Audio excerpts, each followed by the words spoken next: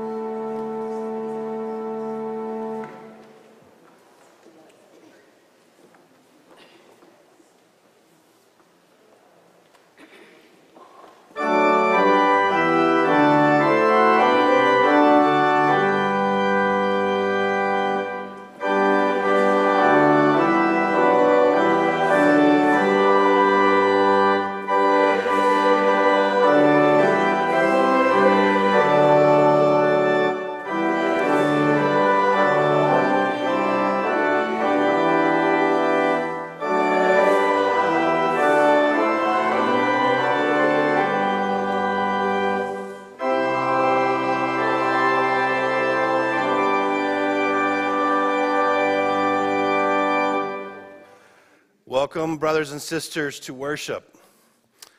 We've been called here together by our own inclinations, our own desires, perhaps, but most importantly, by God. And the one thing that I hope that you will leave this place with is the knowledge that God is love. So hear these words from Psalm 136 Give thanks to the Lord, for he is good for his steadfast love endures forever. Give thanks to the God of gods, for his steadfast love endures forever. Give thanks to the Lord of lords, for his steadfast love endures forever. Please join us as we sing our opening hymn.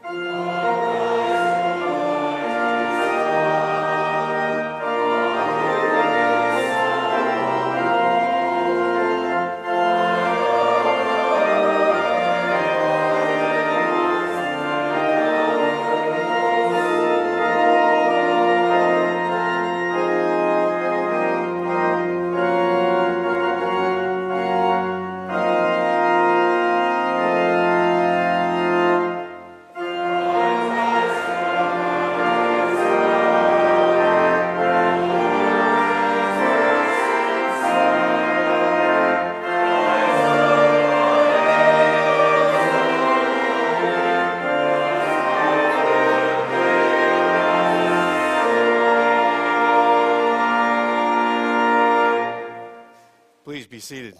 Thank you, Abby. It's good for us to just pause as we enter the time of prayer and to remember that we are entering the presence of God. A God who spoke creation into being, but yet cares about the very issues of our lives, cares about us personally, cares about this world and the things that we care about. Which means that as we pray, we can pray in confidence that God hears our prayers and the God of the universe works through the prayers of his people to do the work that he's called to do, and we're called to do. So let's pray together.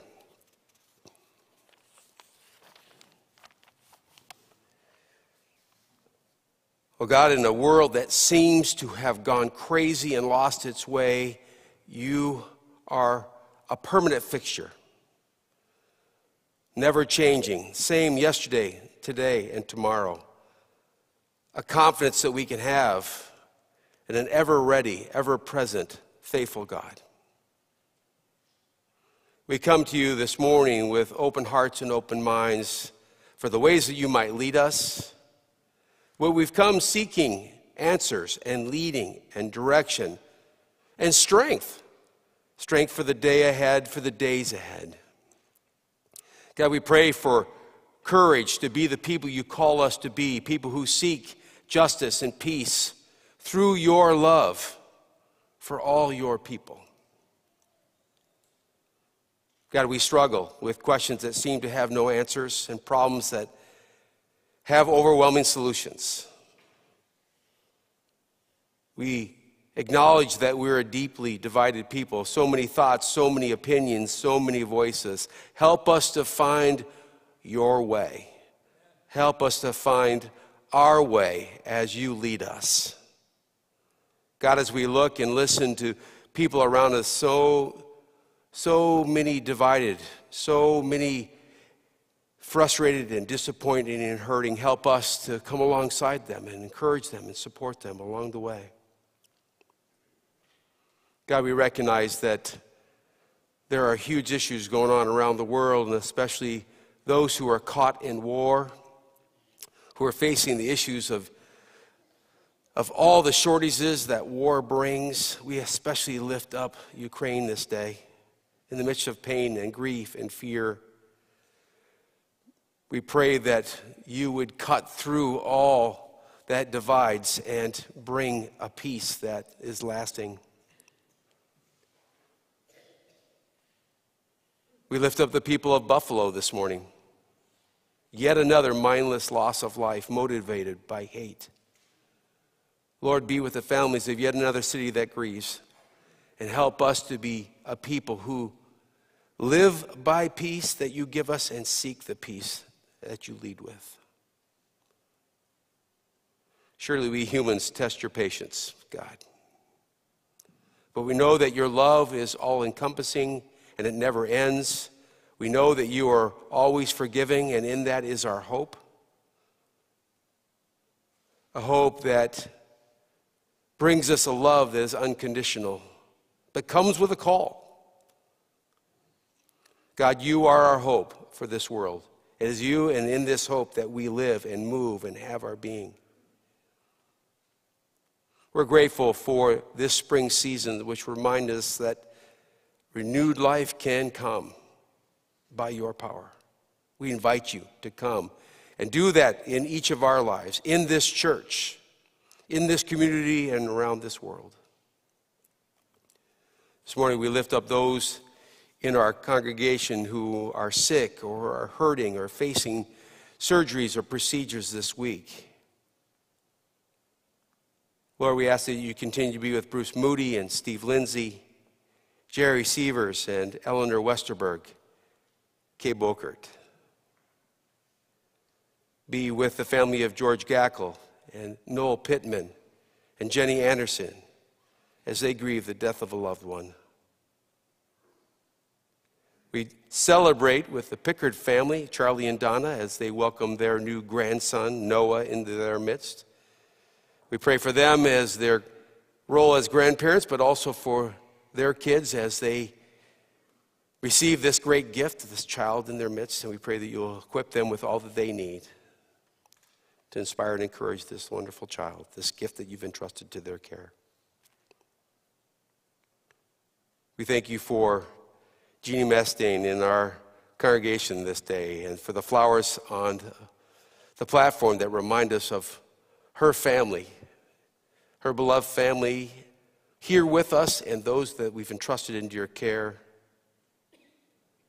We pray that as we see that beautiful image, that we remind us of the love and encouragement and support we can get from those around us. God, we ask for your peace and for your strength to face all of the situations that life brings. And we ask for those who are caring for others that you would hold them up. Give them that extra measure of what they need to face the tasks and challenges ahead this day. God, we ask that you help us to be the change agents in this world wherever we find ourselves. Give us courage to speak about our faith, to teach those around us about your love for all people, and to lead by example, showing and speaking the respect that you call us to for one another. We're grateful that you're not a distant God, but a God who draws near, especially as your people pray. So hear us now as we pray the prayer you taught your disciples, saying together Our Father, who art in heaven, hallowed be thy name. Thy kingdom come, thy will be done, on earth as it is in heaven. Give us this day our daily bread and forgive us our debts as we forgive our debtors. And lead us not into trial, but deliver us from the evil one. For thine is the kingdom, and the power, and the glory forever.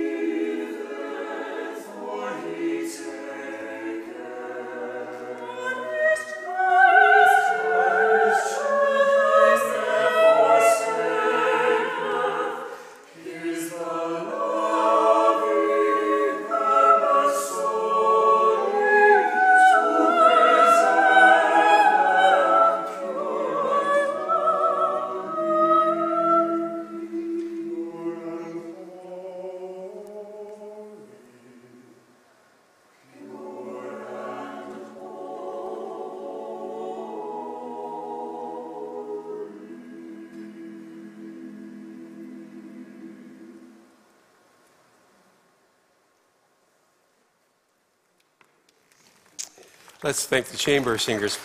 Wow. What a gift they have been for us this year. Well, good morning and welcome. My name is Jeff Lindsay, Senior Pastor here at Meetinghouse Church. If you're joining us in person, you are most welcome. If you're joining us online, of course, you're most welcome as well. And of course, I remind you, there's spaces here for you when you're ready to come back. But we're grateful that we have the technology that welcomes you into our midst. I hope you feel a sense of God's presence wherever you find yourself. We're grateful that as we're winding down the year, there's still lots of fun things that are happening, exciting things, ways that you can get involved in the life of this church. We want you to make sure that you are going to our website because as the website is being renewed almost every day, you get to see uh, our new transformed website, but on that website has all the information for the ways that you can be a part of the life of this church. So please go there from time to time. And uh, of course, keep watching for the uh, e news that happens, that comes out on Wednesdays. And also, that updates what's happening that week and in the weeks to come. I hope that you all know about this wonderful event that's happening this Wednesday that you're going to want to be a part of. It's called Swing into Spring. Now, I could say, you should just come. Be- What's that? What did I say? You see, that seems to rhyme better for me. and it was so short a time. Thank you. takes a village for one senior minister. swing into summer. Let's do that. Let's swing into summer. And uh, I could just tell you that there's going to be a 17 piece band that's going to be here and it's going to be doing some great music for us to dance to. And that'd be worth it to show up just for that. Or I could tell you that we're going to have cheeseburgers and root beer floats. It'd be worth it to show up just for that. But we're also going to have activities for the whole family, and there's going to be some special opportunities for us to bless our mission of the month and to do some special service projects that are going to enhance the life of uh, some of our local ministry partners. And we'll talk about that in a second. So come this Wednesday. Let's close down the year well and look then into spring and into summer and, uh, and enjoy some fellowship with one with the other. So it'll be great. And uh, I, I can't wait to see some of you break out some of your dance moves. So I'll, I'll be here watching. I, I heard it. All right, yeah. Uh, got a special event for families uh, of all ages uh, today. It's going to be over at the park, uh, right across the parking lot over there. It's got a great name. Uh, I'm, I'm, just going to read it so I don't screw it up. Actually, do I have a slide? I don't have a slide for that. It's, uh, it's something about adults going nuts.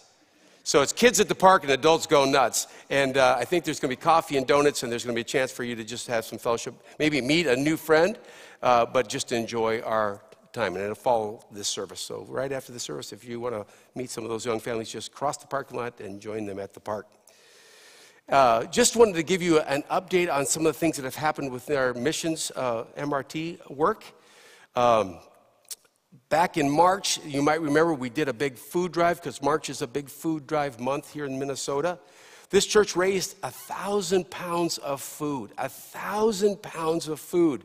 And it went to Community Emergency Services and to VEAP, and there were a whole bunch of volunteers that helped come and sort it and uh, they were very grateful for uh, the effort that you made and the food that helped uh, to deal with some of the uh, critical issues of hunger in our Twin Cities.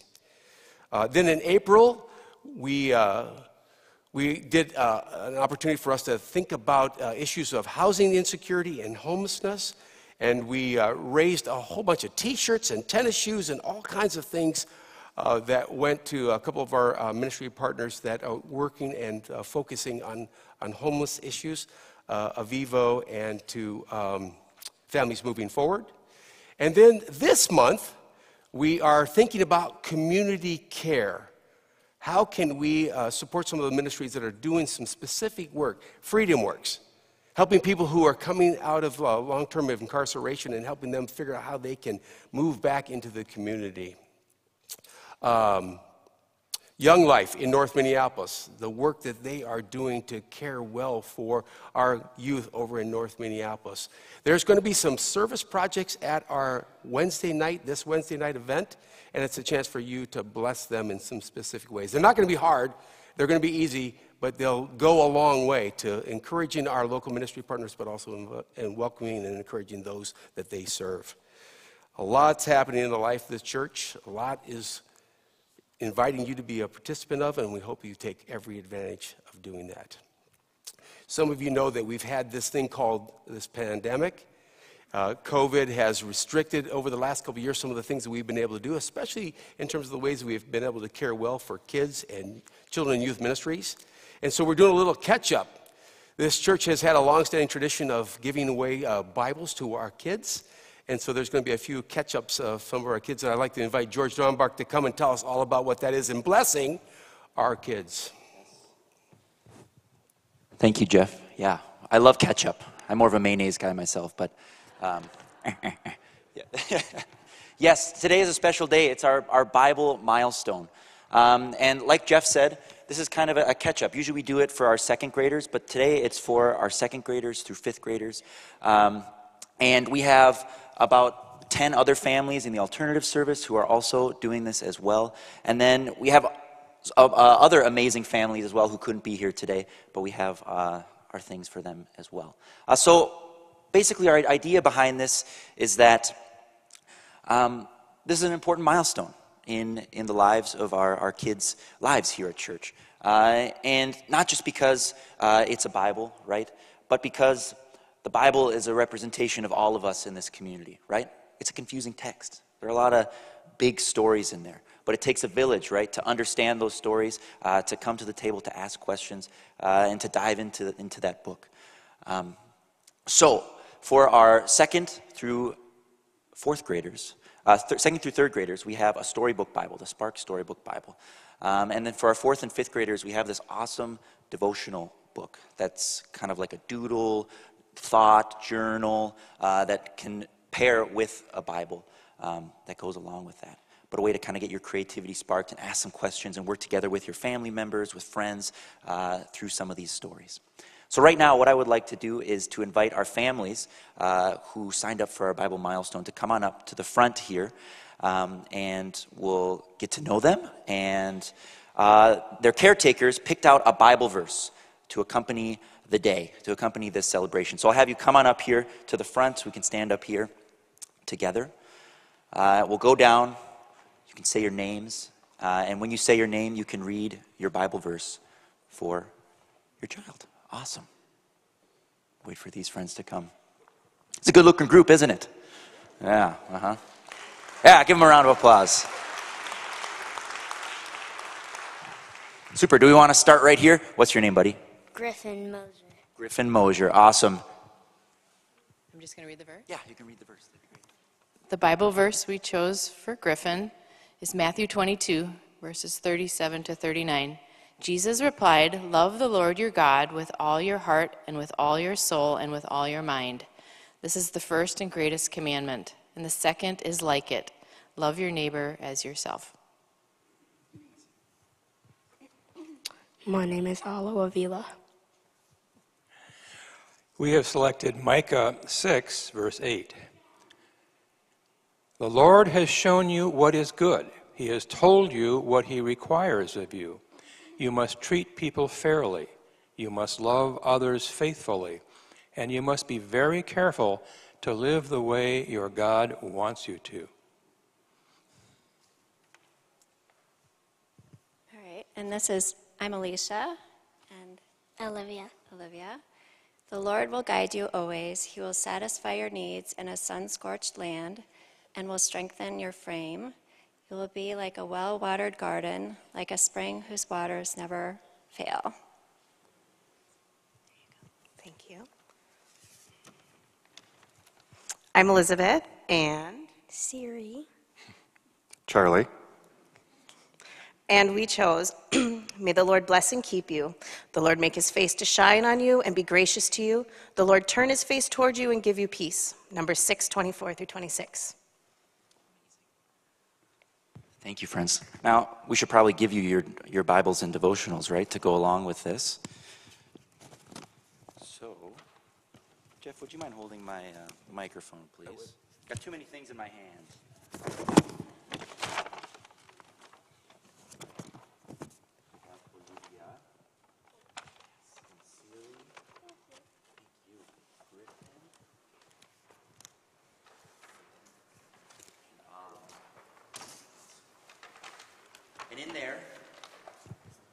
We've got your devotionals, and then there's a little bookmark that our friend Colleen, who also works with us and hangs out with us on Sundays, uh, made for each of you with your Bible verse on the back of that. Um, so, friends, uh, community, let's pray together right now uh, as we bless this day and, and this celebration together. Lord God, we thank you. We thank you for the Son. We thank you for your stories, your stories which have the power to help us grow, to guide us, to ask questions, uh, and to build community. We pray that through these books, through your word, uh, that our friends in God's garden will continue to grow and to question, not just by themselves, but with the people that love them and care about them, their families, their friends, their church community here at Meetinghouse. We ask this in your name, we pray. Amen. Let's give these families a round of applause.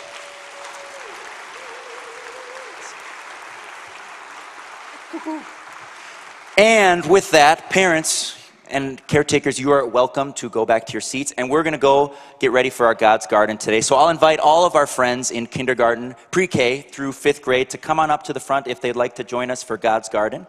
Uh, and because we've been up here for a while and you've heard my voice a lot, we're not going to sing our God's Garden song today, right now. But what we're going to do is we're going to say on the count of three, have fun, kids. So, church community, let's do that on the count of three. One, two, three. Amazing friends. Let's go outside for our God's Garden. Thanks. Thanks, That's awesome. What a thrill it is for us to be able to bless and honor and encourage our kids, right? And blessings on all your families as you uh, seek to lead them by the strength and encouragement of the word. We have a chance now to be a blessing to one another. Let's stand and pass the peace that we know from God with one another.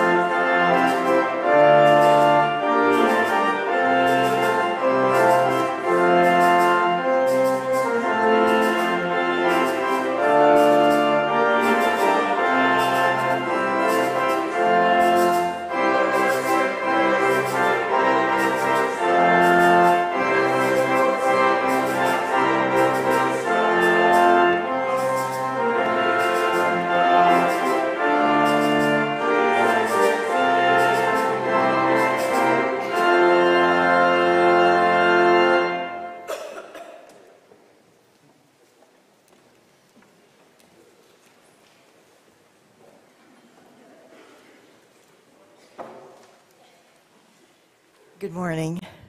I'm called to read the scriptures today, called by Janet Havens. And as Jeff said, it does take a village, and I appreciate our pastors so much.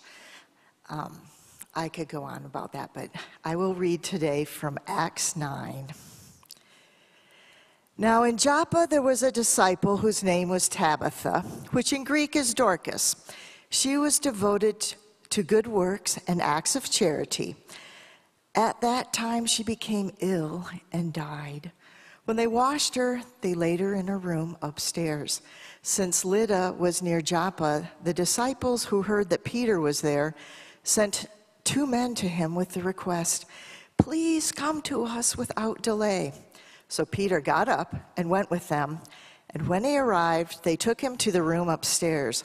All the windows, excuse me, all the widows stood beside him weeping and showing tunics and other clothing that Dorcas had made while she was with them. Peter put all of them outside and he knelt down and prayed.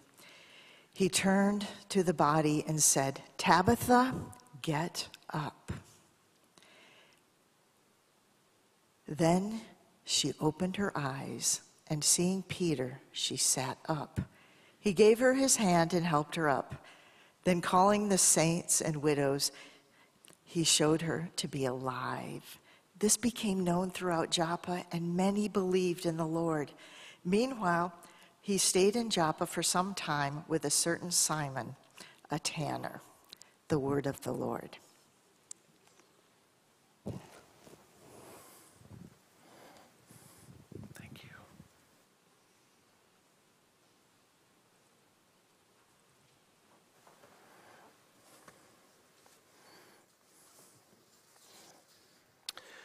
Please pray with me. Let the words of my mouth and the meditations of our hearts be acceptable to you, O Lord, our rock and our redeemer. Lord and giver of life, guide us in the way of life, resurrection life, that we might taste of it even now in our own lives and in the life of our community. Be with us now, we pray, in your name. Amen. Good morning. It's so good to be here with you, to see all of you. Uh, and even if I can't see you online, it's so good to be able to spend time with you, uh, to share fellowship and hear from God's Word. Um, I have my hanky out here just because it's going to happen. Uh, I, I tried to read through it last night to my wife, and I just, I think I cried like three times. All right. Now, as many of you know, um, we're in a series that we started just after Easter titled The Church on Mission. And uh, we're traveling through the book of Acts.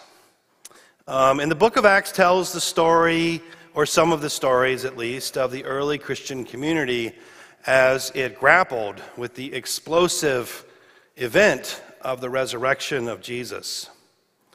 It's the second volume written by Luke, the purported companion of Paul. And one of the things that you notice as you read through this work is that all, all, all, the stories that Luke tells gives you a sense that this is a church and a people who are in constant motion going one place from one place to another. After the event of Pentecost, which begins uh, the book of Acts in chapter 2, where God pours out the Spirit on this small community in Jerusalem, Luke winds up tracing the ministries, in particular of Peter and Paul. And you get some really towering stories, stories that have actually sort of seeped in to our culture and to cultures around the world. Stories like the last one, or the one that we heard, I should say, last week, that Jeff preached on, Paul's conversion. Uh, on the road to Damascus. And uh, sometimes you'll hear, you know, I had a Damascus Road experience, which basically means something happened so profound that I was turned or changed. My mind was shifted. My life was maybe turned upside down. Or next week, there's going to be a pretty remarkable story that you're going to hear about. It's the story of Cornelius a Gentile who nevertheless winds up receiving the promise of God, the Holy Spirit, and embracing the Jesus way. An event that is truly momentous in the development of early Christianity because it means that the church is going to become an intercultural reality made up of Jews and of Gentiles. And then there is our story. Uh, now, you, you might not know this, but oftentimes when the leadership team gets together and we kind of sit on and decide a sermon series with a theme and we pick out the different passages and we arrange them as to when they're going to be preached, uh, we, the preachers or the folks who are on the team, we don't always get to pick our passages. And sometimes they're just assigned to us. And that was certainly the case for me today. And I have to say that initially, I wasn't really sure what I was going to do with this passage.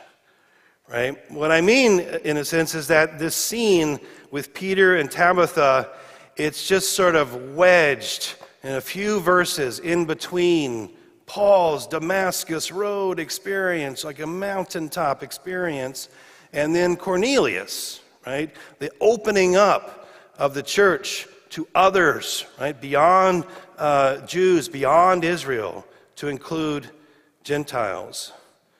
And even though there's a resurrection that happens in this story, on first glance at least, it doesn't seem to carry the same emotional register as these other stories do.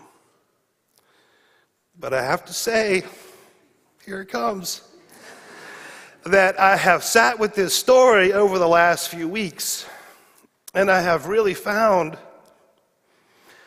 that it is, it is, it is an important story, not just for understanding who the early Christians were, but it also offers to us a profound picture of what it means to be church in the world. A picture that I would suggest can be described as follows. The church is called to be a people who practice resurrection. Let me say that again. We are called to be a people who practice resurrection. Practice resurrection, you say. what on earth, and I think I have it underlined here on my task, on my, on my text here, what on earth could I possibly mean by saying this? Well, let me explain. Now, as I mentioned, our short little vignette occurs in between Paul's conversion and the episode with Cornelius. And geographically speaking, the place where the events that are depicted here in the city of Joppa takes place north of Jerusalem in a town called Joppa, which is, of course, associated with another figure, and I'll get back to that in just a moment. Now, there's another, even shorter story just before this one. From verses 32 to 35, that story tells us about Peter's healing of a man named Aeneas in the city of Lydda.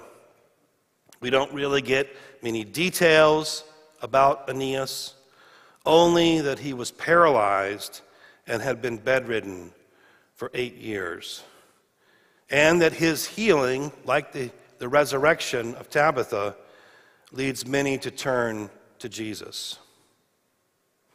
Now, when we turn to our story, we are told that it takes place in the city of Jada, uh, excuse me, Joppa.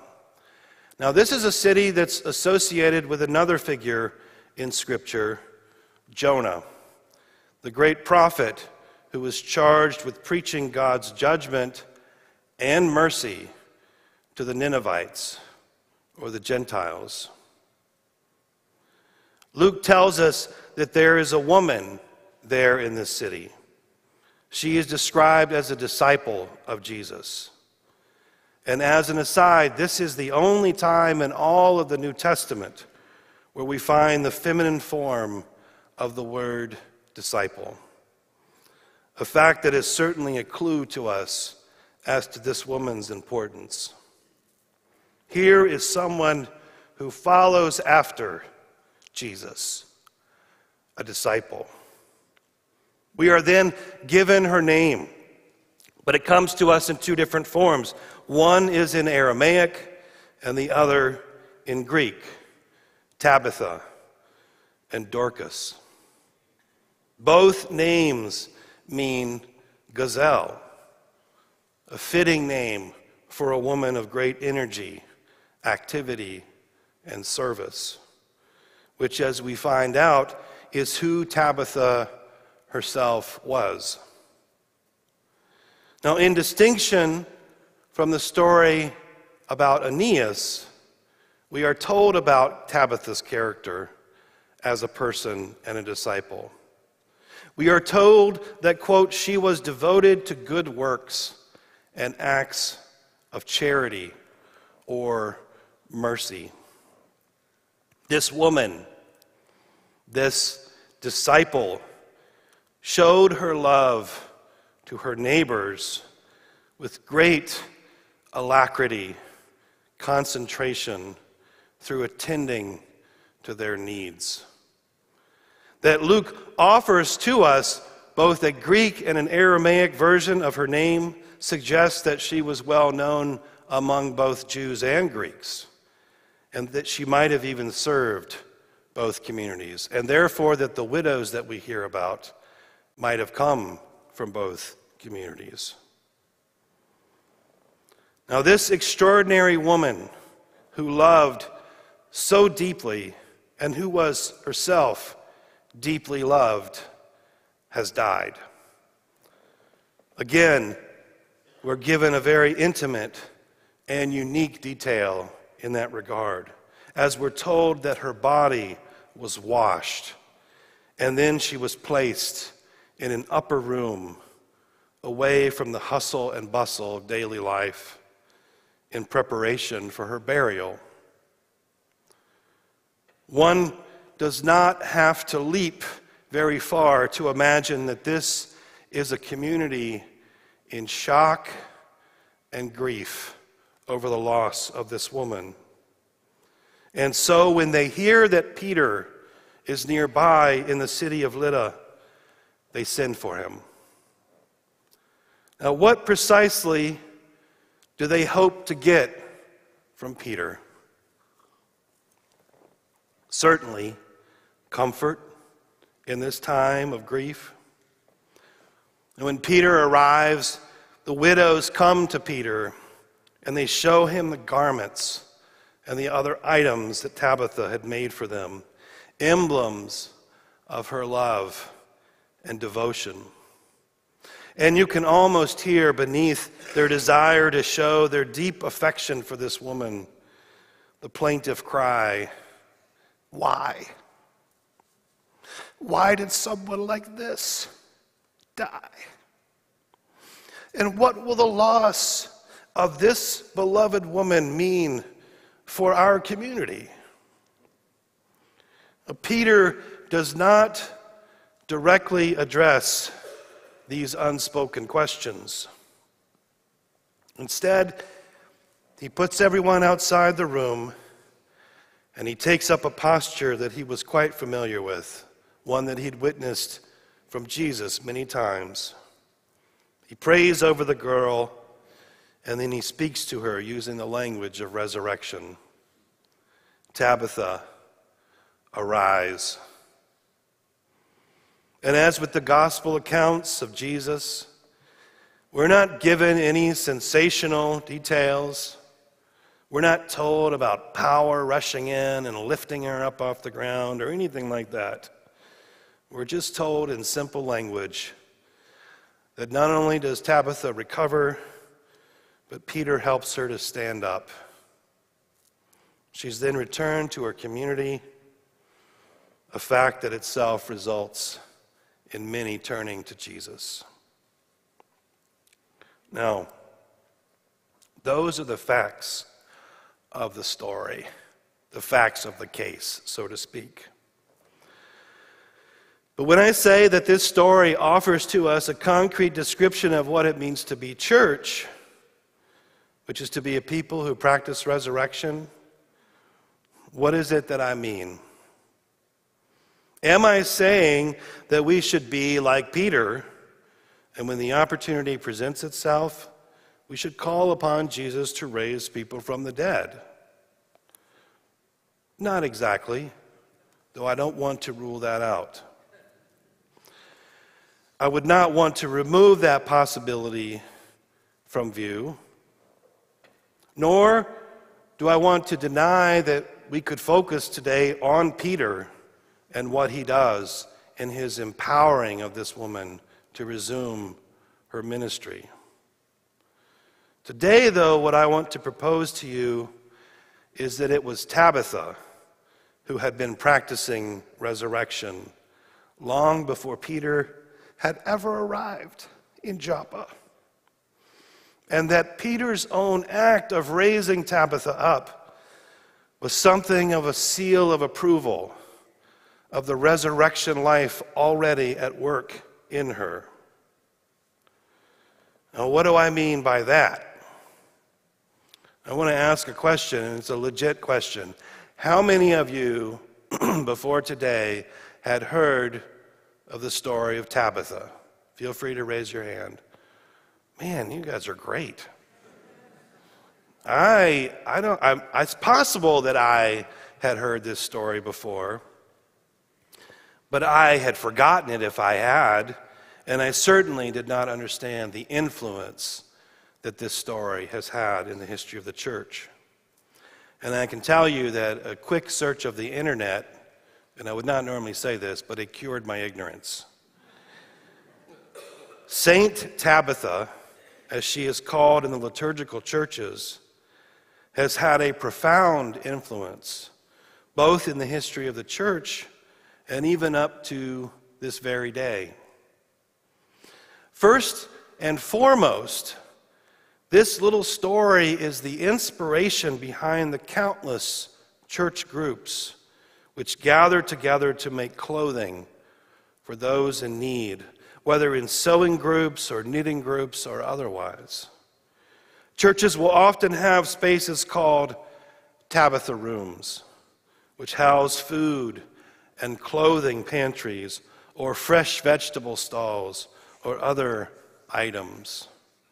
For instance, when I was online curing my ignorance, I found a community in Winthrop, Maine, which had a Tabitha closet, which offered gently used clothing and toys.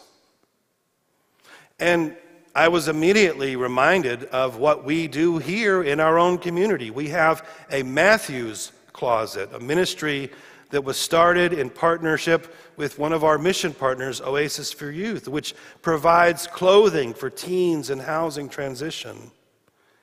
And even though Tabitha's name is not evoked or used, the idea of providing clothing to the vulnerable is closely connected to the example of Tabitha. You can also find numerous Tabitha houses. For instance, there's a Tabitha House Bluefields located in Nicaragua. And looking on their, their website, it says that they provide food, health care, and family support to some of the poorest people in an already impoverished country.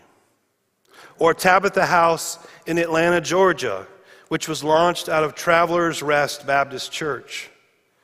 They have some 137 volunteers who work across the counties that comprise the larger metro Atlanta area in conjunction with local doctors and therapists, social service agencies, schools, and other communities of faith to combat sex trafficking and to provide support to the families, women, and girls affected by it.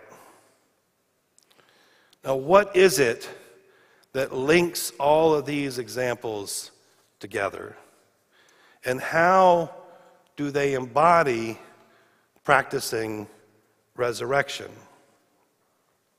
I think it has to do with the fact that Tabitha made clothing for the vulnerable. In our story, it is the widows whom Tabitha serves. Now, widows were, and frankly still are, an especially vulnerable group of people. Women had little to no rights in the ancient world and little hope of finding work outside the home. And when their husbands died, or male caretakers, which is the situation that most found themselves uh, in, they could find themselves in very dire circumstances. As a group, they were constantly challenged with destitution or death, which is, of course, certainly why God shows a very special interest and concern for widows and their treatment in the Hebrew Bible, and why Jesus and the early Christians did the same. But what is it about making clothing that's so important?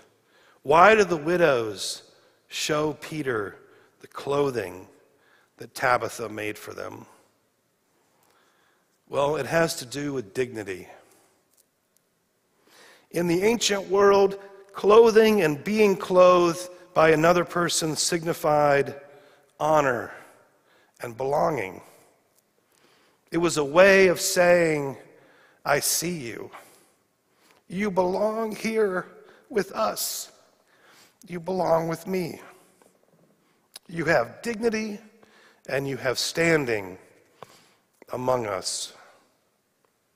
To wear certain kinds of clothing marked a person as belonging to a given community or family. And since clothing was often made within the household, it was also a concrete act of care and love, indicating to the wearer that they had a people, that they belonged. For instance, in the parable of the prodigal son, Jesus tells us that one of the first things that the father who welcomes back his wayward son does is he places a cloak on him. By placing a cloak on his son, the father is not just covering him, he's restoring him as a son, as a member of the family. Conversely, to be stripped of your clothing wasn't just to be made nude, it was to be made naked. It meant being stripped of your dignity, being stripped of your identity. This is why, among the many harrowing scenes of Jesus' passion, we read that they strip him of his clothing. Because crucifixion meant not only death, but a death in which your dignity and your identity as a human being was to be obliterated. Tabitha's act of making, making clothes for these widows then was not just about the utility of making sure that these poor women had clothing to keep them warm or covered. No, it was much, much more than that. It was an act of restoration. It was a way of saying to each and every one of them, I see you. You matter. You are loved by God. You belong. You are a valued member of this community, and I am interested in knowing you. It was a means by which Tabitha and her church community could embrace and welcome every person who lived among them. A means by which they could tear down the culturally and humanly made walls of division that we often construct to say who matters and who doesn't, who is welcome and who is not. But why is this practicing resurrection? Well, resurrection says and means many different things. It means God's triumph over death. It means God's affirmation of creation and of your body. It means human beings being set free from the dehumanizing powers of sin and death. It means a new world, a new hope, a new life. But among these and many other things, it also means to affirm the dignity and the value and the uniqueness of each person. To be clear, it is God who raises the dead. But we too can participate in God's resurrecting work in the here and now. We too, in our own very human way, can affirm the dignity and the value and the worth of each and every person that we are given the opportunity to serve and to love. We can say through our actions, our words, and our endeavors that you matter. You are loved by God. You belong. Tabitha's fashioning of clothing for her community, and especially for those who were so vulnerable, was just such an affirmation. As I was thinking about this message this week, among the many things that went through my head, I was reminded of when my firstborn son was born, Jonah. Now, during the course of her pregnancy, my wife decided she was going to start knitting. She wanted to make Jonah a sweater. And we looked for that sweater. I was going to pull it out because then I knew I would get like a great response, but I couldn't find it. It took her a while. She had to go back and adjust the knittings. She had to make sure that the pattern was right. And truthfully, Jonah probably only wore that sweater for about four or five months, if that. But as my wife poured herself into making this, she was giving something to her son. She was thinking about the soon appearing person that she had not yet met. She was seeing him even before he was born. She was saying, You matter. You are loved by God. You belong. So, ask yourself this question today How can I practice resurrection? Who has God placed in my life to whom I can, through my actions, say, you matter. You are loved by God. You belong. God's invitation to us is to take up the life giving practice of seeing and affirming others in their humanity. And my prayer is that in a world riven by constant violence and hatred, that we will have the courage to truly become such a people. A community that lives in God's resurrection power so that all are indeed welcome, seen, embraced, and loved. Amen. Let us pray. Living God who sees us who loves us, and whose longing and will for us is that we will live with you and each other in fellowship. Thank you. You have created us out of love, and you have created us for love. Grant to us, therefore, your Spirit that we might be truly free to practice resurrection, living into the love that you have for all people and for the whole inhabited earth. In Jesus' name we pray. Amen.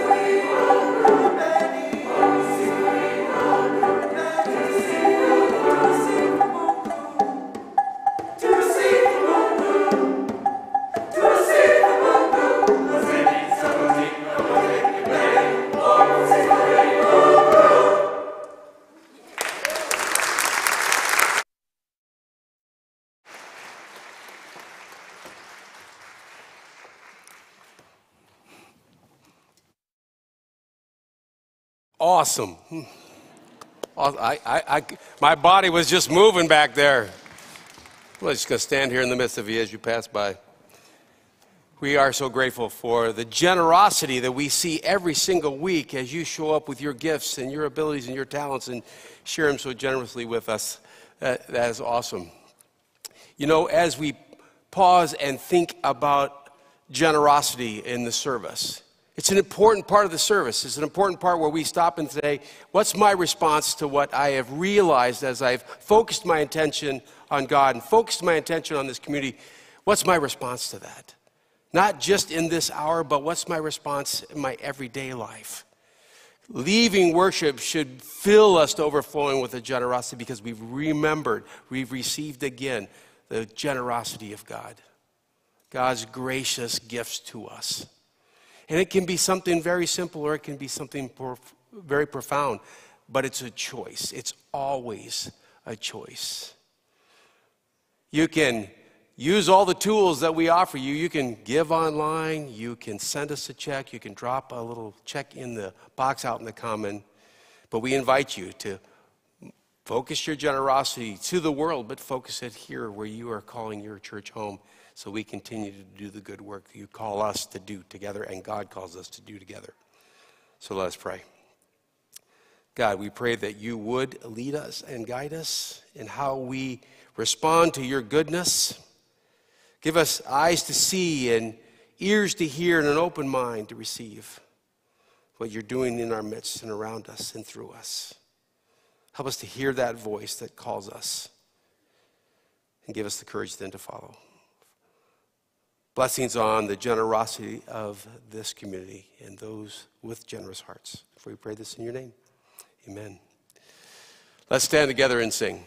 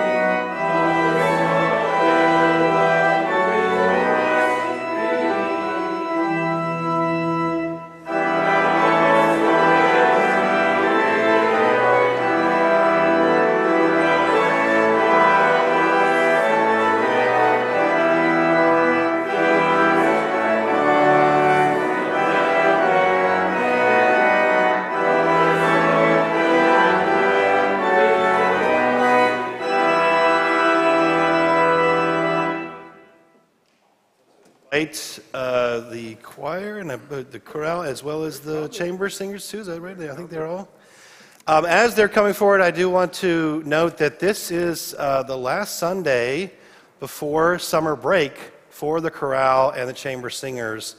They have given of themselves, they have given of their time, um, their talent, uh, their focus, their breath. They deserve our thanks. So let's thank them.